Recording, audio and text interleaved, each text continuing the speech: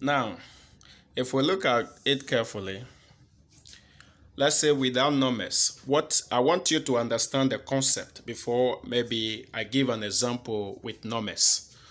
So let's say we have, um, let's say we are asked to calculate for the total resistance.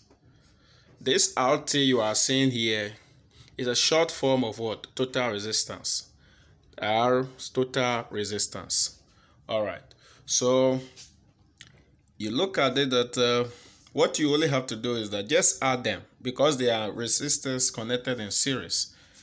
Anytime resistors are connected in series, the only thing is that one resistor plus one resistor uh, constitute um, summation of one figure. So here we can say R1 plus R2 will give you the total resistance.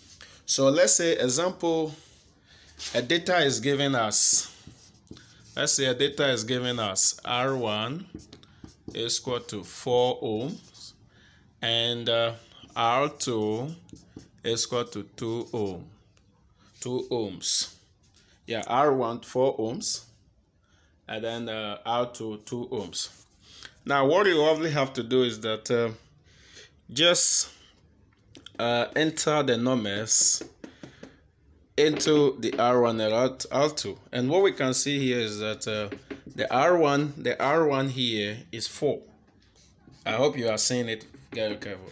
This is the R1 which is 4 and this so here R1 plus R2 which is 2 so what we do is that we just add them. 4 plus 2 we have 6 ohm so in any case, a question is given this way, and we are told you are being told to calculate for the total resistance.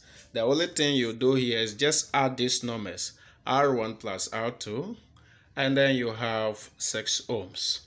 Well, in the next video, I will show you how to calculate the current uh, and uh, circuits that are connected um, in series, resistors that are connected in series. I'll show you how to calculate for the current in this uh, in this particular um, diagram.